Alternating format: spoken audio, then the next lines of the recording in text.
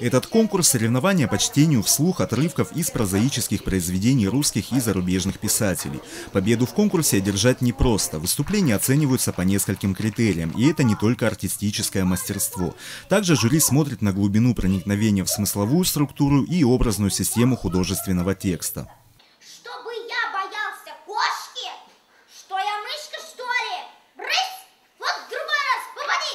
С прошлого года изменились требования к этому конкурсу, и ребята читают произведения, которые не входят в школьную программу. Поэтому у нас сейчас мы очень мало слышим Гоголя, но больше слушаем Драгунского, больше слушаем Экскузюпери и современных авторов. Конкурс «Живая классика» проходит уже третий год и каждый раз в три этапа – школьный, муниципальный и краевой. Участников всегда хватает. Сама задумка прививать школьникам любовь к литературе уже принесла свои плоды. Некоторые ребята стали тратить меньше времени на свои гаджеты и окунулись в мир книги. Литература важна, она везде как бы, ну ты сможешь находить с кем-то общий язык, разговаривать.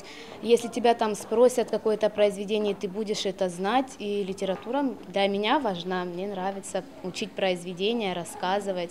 Три победителя муниципального конкурса поедут представлять Сочи в Краснодар. Конкурс «Живая классика» в столице края пройдет 2 апреля в Международный день детской книги. Игорь Кырпа, Михаил Дубинин, телекомпания «ФКТ».